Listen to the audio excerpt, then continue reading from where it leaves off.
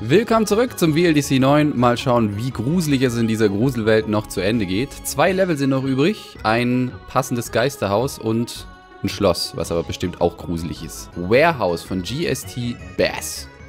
67. Platz. Oh. Hatte die Chance verpasst, das Ghost House in ein Warehouse umzuändern. Obwohl, nein, das dürfte man nicht. Dafür bräuchte man externe Programme. Aha. Ach, das ist... Warte. Das ist alles Hintergrund. Das sieht total aus wie Vordergrund. Von den Farben her. Aha. Wollte gerade äh, sagen, es ist sehr einfach hier durchzulaufen. Funktioniert. bin ich jetzt im Hintergrund quasi? Bin ich durch diese Röhre da rausgekommen? Das wäre doch mal cool gewesen, aber es sieht nicht so aus, weil da ein Loch drin ist. Ja, dass die Illusion entsteht dass, äh, entsteht, dass man sich quasi auf zwei Ebenen vorne und hinten bewegt. Wie in Donkey Kong Country. Zum Teil. Hm, die, die ist gut versteckt da oben. Wie komme ich denn an die ran? Vielleicht brauche ich dafür einen respawnenden Eerie. Nicht dich, aber der da unten wäre nicht schlecht. Ich sehe auch gar keine andere Möglichkeit, wenn ich ehrlich bin. Uh, okidoki. Jetzt darf er gerne verschwinden. So. Dafür kommt der andere wieder. Was ist hier eigentlich mein Job? Wahrscheinlich einfach nur durchgehen. Wie immer. Iris! Secret Block? Kein Secret Block. Hä? Oh. Kein Block, mit dem man sich die Zeit vertreibt. Oh, das war ein Fehler. Ich habe nicht realisiert, dass das hier kein Boden ist. Sondern der Fragezeichenblock der einzige, worauf ich springen kann. Supi. Da war noch eine zweite Röhre. Die gucke ich mir jetzt als erstes mal an. Hui! Was wohl hiermit auf sich hat? Kann man da klettern? Nein. Hm. Dann muss man vielleicht beide Röhren schaffen und dann wird dieser Weg hier frei. Ist auf jeden Fall interessant. Interessant aufgebaut. Ich wünschte nur, der Hintergrund hätte keine Vordergrundfarben. Das irritiert mich nämlich extrem. Jetzt habe ich nicht gesehen, ob man da stehen kann. kann man. Äh, Kupio? Oder nicht Kupio? Wie auch immer, wenn er mir nicht zur Hilfe eilen will. Hier ist wenigstens ein bisschen was los. So gegnertechnisch. Hm. No, please. Hm. Ziemliche Zwickmühle. Dang it! Wie ich einfach keine Shelljumps mit Groß Mario machen kann, ne? Tja. Hilft mir das jetzt irgendwas, dass ich die eingesammelt habe? Wahrscheinlich wäre es besser, ich gucke mir das Level erstmal an. Sonst sammle ich die noch 50 Mal ein. Ah. Okay, das funktioniert. Ah. Was kann ich denn damit veranstalten? Manchmal muss man es ja gar nicht mitnehmen. Hallöchen.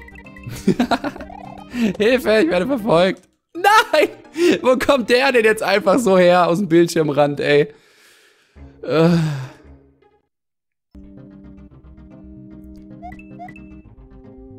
Ich weiß halt echt nicht. Es hat im ersten Moment mehr so wie ein Rätsel gewirkt, aber es ist wohl einfach nur ein hartes Level. So auf den zweiten... Ah, Scheit! So auf den zweiten Blick. Einfach nur ein hartes Level. Oh Gott, der dreht um. Was gut ist, aber ich habe nicht damit gerechnet. Und auf geht's. Mhm. Ja, siehst du, wenn man weiß, was auf einen zukommt, ist es auf einmal gar nicht mehr so schlimm. Kriege ich hier noch was Schönes? Oh! Also, danke. Da kriege ich meine schöne Sache. Habe ich wenigstens, kann ich noch eine Sekunde länger Mario begutachten, wie er in den bodenlosen Abgrund fällt. so, was ist das hier jetzt? Ah, hör auf! Da oben ist doch irgendwas. Ich hab's genau gesehen. Aha, siehst du, hat sich gelohnt. Und damit hätte ich wohl Raum Nummer 1 geschafft. Einmal kurz die Blume. Danke. Feder in der Reserve zu haben, ist immer gut. Habe ich es geschafft? Wow, so habe ich mir das ehrlich gesagt vorgestellt. Ich wollte es nicht laut aussprechen, weil ich dachte, es geht nicht, aber er hat es tatsächlich irgendwie hingekriegt. Dass dadurch jetzt diese Fackel brennt. Das ist cool. Was aber auch gleichzeitig bedeutet, dass ich alle Räume machen muss, bevor ich einen Checkpoint kriege. Das ist aber jetzt ein anderer als vorher. Hm. Huh. Aber in dem anderen war doch eine Dragon Coin. Wie kriege ich die denn dann? Ohne das Level nochmal neu starten zu müssen. Naja. Begeben wir uns auf die Autoscroll-Reise. Du kannst da mal kurz weg, damit ich mich da umschauen kann. Keine gute Idee, keine gute Idee! Diese random Sprünge, bei denen man sehr leicht abstürzen kann. Ich liebe sie. Nicht. Boop. Will vielleicht mal einen Panzer mitnehmen? Ist bestimmt nicht verkehrt. Hey! Typisches Autoscroller-Problem. Man will nicht zu weit hinten sein, aber man darf sich auch nicht zu weit nach vorne begeben. Stirb! Oha! Vielleicht hat er ja mehrere. Also man kann ja mehr als fünf Dragon Coins platzieren. Dem, Spiel ist es dann egal, welche davon man einsammelt. Gibt sogar ein paar Level in Super Mario World Original, die mehr als fünf Dragon Coins haben. Weil man sonst nicht in einem Run alle einsammeln könnte. Aha, Doppelfackeltür. Kriege ich jetzt einen Checkpoint? Das wäre so nice, come on. Aha. Oh, das ist Level ist eigentlich gut gemacht. Yes! Merci! Dass dann die Röhren auch gleichzeitig noch blockiert sind und man noch nicht nochmal in die rein kann. Hi. Bist du ein Boss? Ach so. Gar nicht realisiert. Das sieht hier so normal aus und die Musik hat sich nicht geändert. Super Mario. Das, daher kommt das Super in seinem Namen. Weil er einfach super darin ist, Blöcke nicht zu werfen. Oh, die Zeit. Ja, offensichtlich habe ich es geschafft. Das Level war sehr cool. Jetzt frage ich mich fast, ob ich den anderen Weg nochmal angucken soll. Aber der war schon ziemlich äh, komisch. Und ich habe auch alles. Es gibt keinen Secret Exit. Man kann sich hier wohl den Weg aussuchen, den man nehmen will. Also ich fand das Level cool. Ich fand das wirklich cool. Was haben wir denn als Finale? Unsettling Bastion von Gloomier. Was für ein passender Name. 17. Platz. Oh nein. Dunkelheit. Irgendwas funkelt im Hintergrund. Das versteckte Türrätsel Nummer 1. Der Anfang.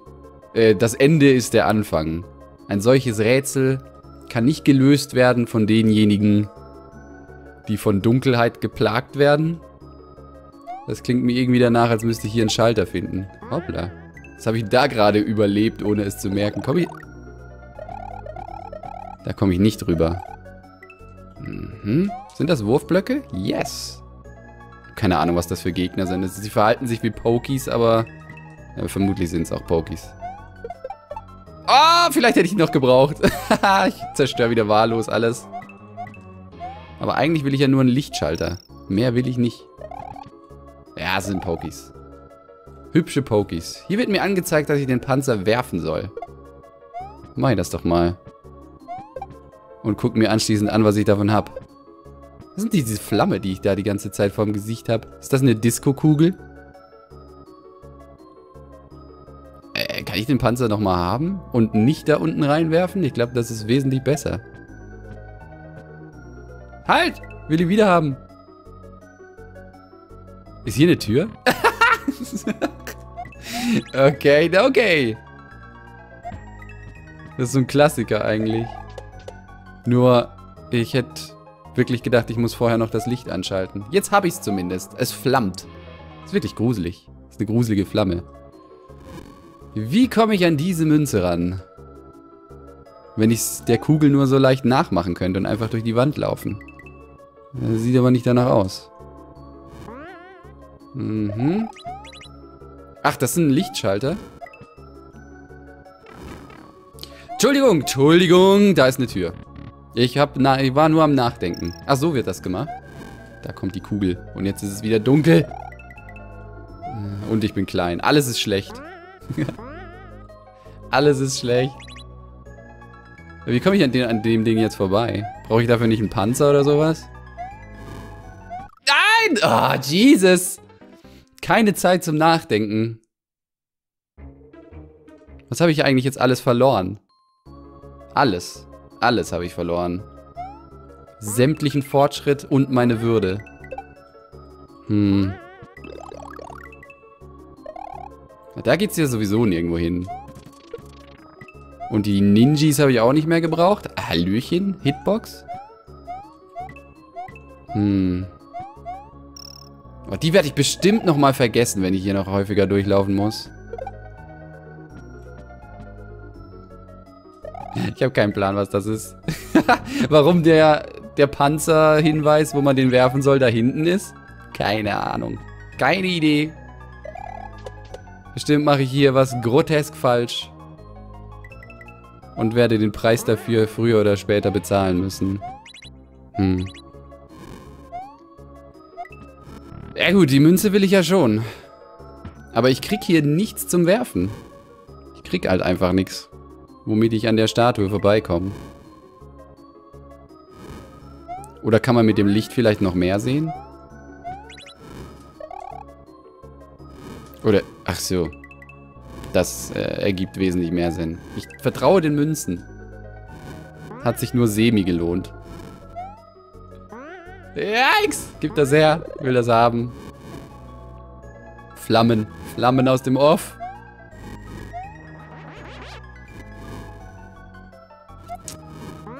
Nein! Sind zu viele. Was ist hier? Why, Bro? Also wirklich. Ja, da war die Münze, aber dass die anderen hier so eine böse Falle sind. Ich habe Angst. Ich habe sehr große Angst. Da ist nochmal eine Tür gewesen. Kommt nochmal so ein Ding? Oder darf ich hier durchlaufen? Puh!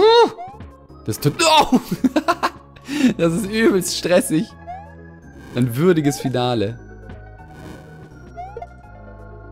Da kommt sie. Da will ich rein. Grusellevel par excellence. Ich habe keine Ahnung, wo die herkommen, die Kugeln. Einmal da hinten, einmal da vorne. Da ist überhaupt kein Rhythmus drin. Habe ich den Rhythmus gerade genannt? Ja. Einmal vorne, einmal hinten. Bin ich denn jetzt gelandet? Irgendwo, wo Licht ist.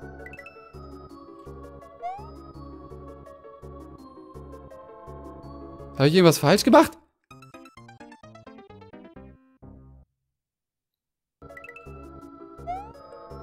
Wieso? Bin ich denn jetzt in einem komplett anderen Abschnitt?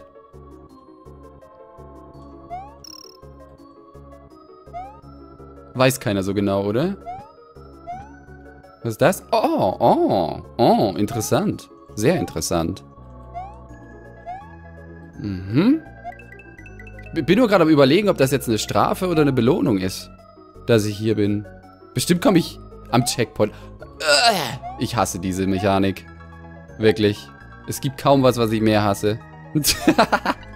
Als diese Plattform, die nur nach oben gehen, solange man auf ihn draufsteht. Jetzt habe ich bestimmt die Münze verpasst.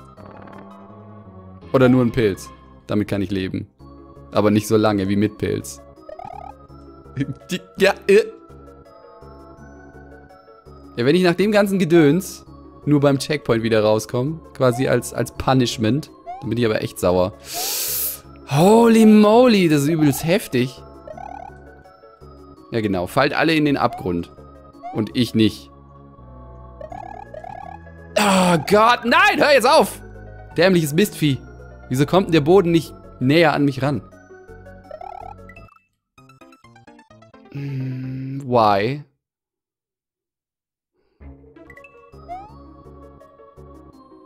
Ja, ich wollte schon sagen, ich bin selbst schuld, dass ich da vorne gestorben bin, weil die Knochen trocken es immer anzeigen, wo Gefahren sind, aber das ist ja, ist, ja, ist ja gar nicht so. Die sind einfach random verstreut.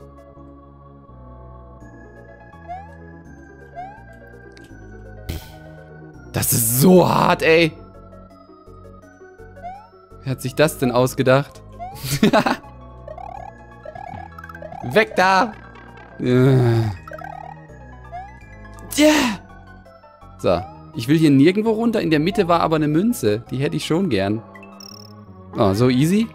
So easy kann es sein. Vorsicht. Jetzt traue ich mich nirgendwo mehr runter. Vielleicht bei dem Ninji. Ja, wenn der nicht stirbt, dann sterbe ich vielleicht auch nicht. Ist das eine gute Logik? Ah, oh, danke schön. Was wäre da drüben gewesen? Ach. Alternativer Weg nur. Fetter Pfeil. Ich vertraue überhaupt nichts. Hier soll man rennen. Weil sich die Plattform wahrscheinlich in, in Stacheln hoch... das will einen echt dran kriegen. Ah, guck hier. Hidden Door Riddle Number 2. Die Toten können diese Welt nicht wirklich verlassen, ohne ihre Seele. Aber zwei sind geblieben, um etwas zu verstecken. Ha. Ist das eine Anspielung auf den Typi hier? Frag mich, wie er die Grafik gemacht hat mit diesem Knochentrockenschädel. Ist das eine Seele? Vielleicht ist das eine Seele. Für mich ist es ein Orb. Und den will ich haben. Zusammen mit der letzten Drachenmünze. Hier sitzen eine Menge tote Leute. Mhm. Komm du einfach mal mit. Weiß zwar nicht, inwiefern das von Vorteil ist, aber überhaupt nicht. Hm. Das ist blöd. Kann ich ihn noch machen? Vielleicht war das ja der Hinweis. ich will das nicht. Ich will gucken, was da oben ist. Die letzte Dragon Coin. Also, komm, komm jetzt mal hier rüber. Hier gibt's Fressi. Drückt mich das einfach da rein. Geht's noch dreister? Das ist nicht das Ziel? Was habe ich denn da gerade eingesammelt dann? Äh? Auf den Dingern, ey. Oh. Oh, wie süß. Thank you. Ja, ich habe dir deine Seele wieder besorgt. Wow. Das Ende war sehr überraschend und cool. Nur der Mittelteil war mega verwirrend, weil ich auf einmal irgendwo anders war. Und ich kann mir nicht vorstellen, dass es so gedacht ist, dass man stirbt. Deswegen muss ich mir das nochmal anschauen.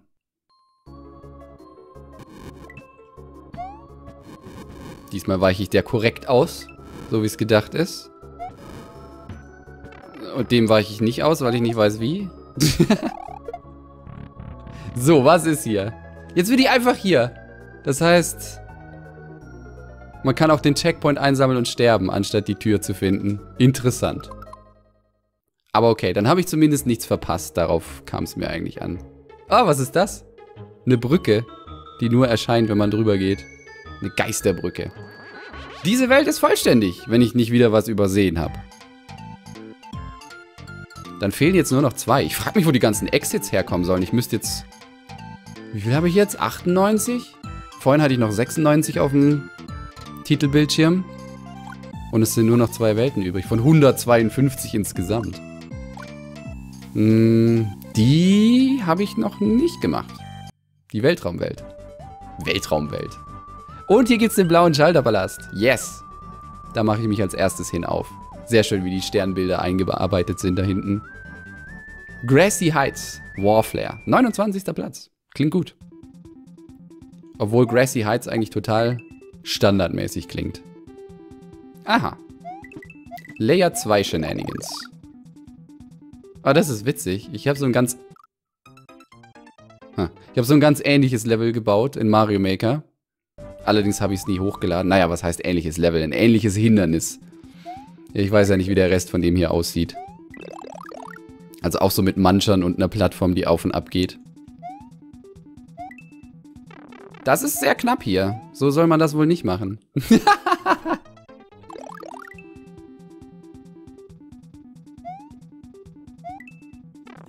ich weiß nicht, wie man das machen soll. Erstes Hindernis und ich check's nicht. Klasse. Klasse Anfang.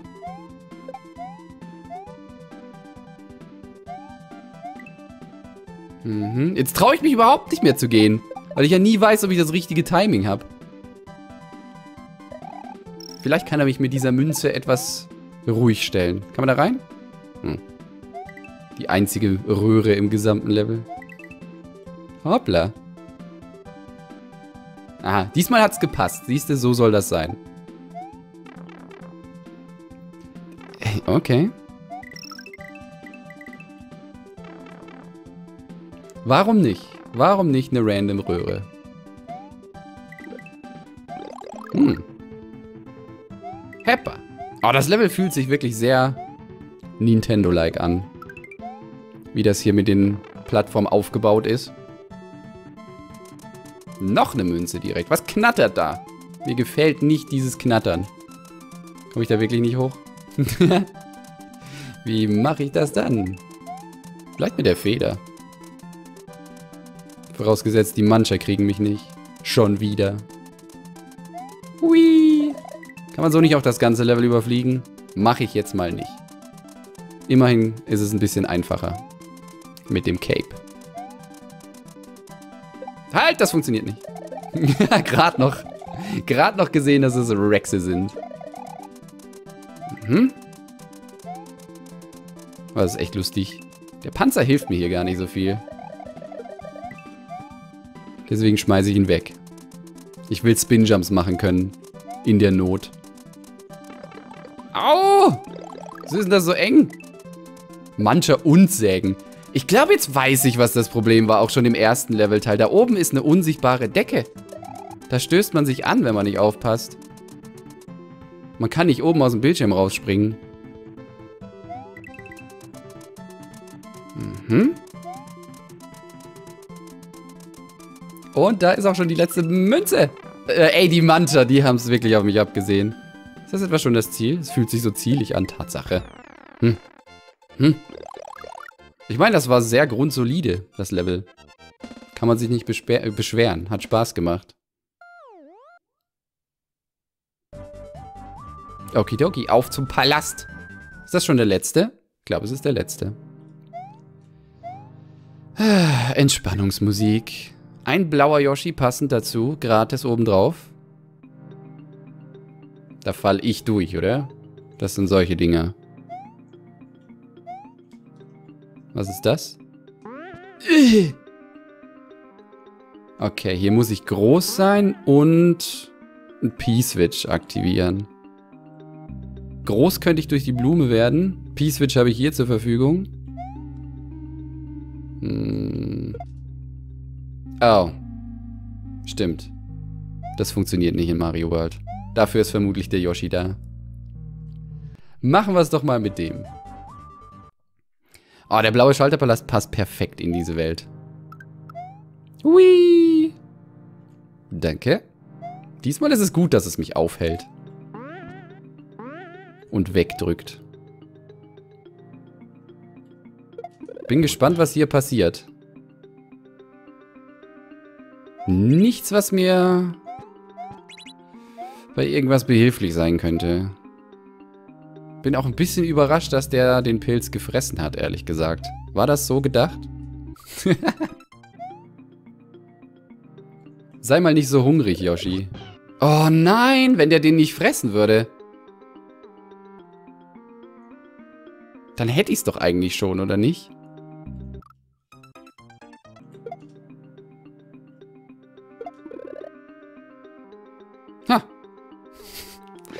Er muss sie tatsächlich nicht fressen. Jetzt bin ich mal gespannt, was mich aufhält. Vielleicht der Timer.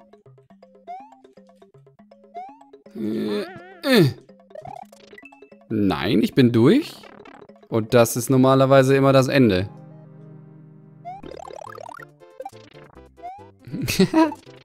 ah, cool, das wusste ich nicht. Wenn man einen Stern hat und wirft den Block weg, dann geht er automatisch kaputt. Da könnte man sich jetzt ein Leben holen auf die Art und Weise. Kriege ich das hin? Yippie! Also das Rätsel war komisch. Ich habe das Gefühl, ich habe da nicht irgendwas nicht richtig gemacht. Wie so oft. Ah! Die haben, die haben das doch rausgepatcht, ey. I spy with my little eye a fat Italian guy. Spoiler, es ist Mario. Ja. Dafür sollte man die Leute wirklich bezahlen, für diese herrlichen Schalterpalast-Texte. Ja gut, dann äh, gucken wir mal noch in ein Level rein. Oder? Forestal Elevation. so wird das ausgesprochen. Ah. Ja, so ein, so ein Waldthema mit leichten Weltraumbezügen. Wegen den Wolken halt. Oh, ich habe die irgendwie anders eingeschätzt. Hallöchen. Trampolinpilze. Sehen ein bisschen komisch aus, erfüllen aber ihren Zweck. Kann man da durchspringen? D durch das Ding da oben? Okay. Also kein Hindernis. Wolltet ihr auch schon mal immer den schlechtesten Sprung auf der Welt sehen? Da war er. Theoretisch, wenn das Trampoline sind, dann müsste man da auch eins rausgreifen können, oder? Wenn das Trampoline sind, die nebeneinander stehen. Ich, ich würd, würde gerne wissen, wie das dann aussieht. Boop. Heppa. So. Geht doch. War gar nicht so schlimm. Wie witzig das einfach. Vielleicht sind da auch wirklich Trampoline und äh, die Vorder-, die Pilzgrafik verdeckt das nur. Ich schaff's nicht, eins da rauszugreifen. Mhm. Ach, das ist keiner? Der hat doch genau die gleiche Farbe, oder nicht? Muss man das jetzt hier mit, dem, mit der Säge machen, oder? Ach nee. Der Rand funktioniert nicht. Der Rand ist nicht bespringbar. Haha, wie knapp. Fast hätte er eine zweite Po-Ritze bekommen. Ah, sehr schön. Hier irgendwas versteckt? Drei Münzen am Checkpoint, da fühle ich mich direkt wohl.